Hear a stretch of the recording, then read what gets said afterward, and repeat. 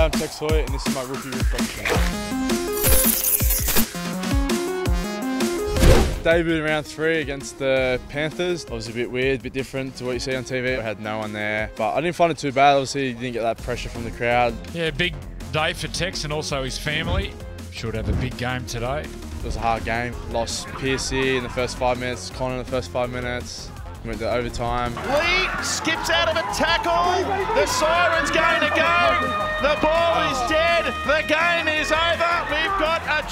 Can you believe it? That was a pretty, pretty crazy debut. And we're on our way in glorious conditions in North Queensland.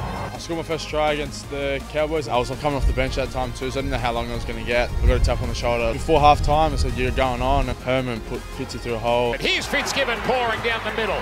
And he's got Hoy on the inside. Hoy puts the foot down. Yes.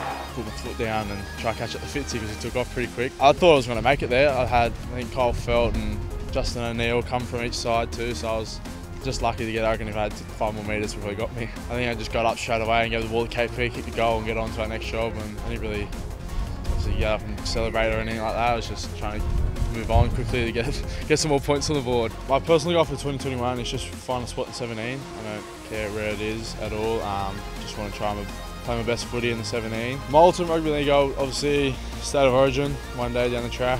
Um, obviously your country as well would be pretty cool. I think number one would be uh, winning premiership in Newcastle. I wasn't alive when they won their first one and I heard you see all the videos and my dad's got stories, I hear stories from the Johns boys about the time they celebrated in Newcastle so I had to say that, would be cool to experience that.